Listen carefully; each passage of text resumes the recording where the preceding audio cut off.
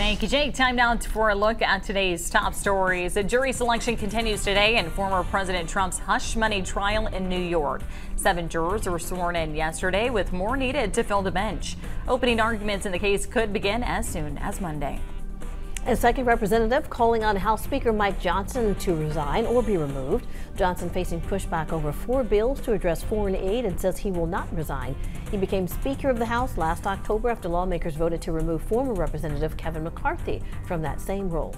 The union representing American Airlines pilots says it's seen a spike in safety issues on flights. That includes tools being left in aircraft to wheel wells, crashes involving planes on the ground, and fewer routine aircraft inspections.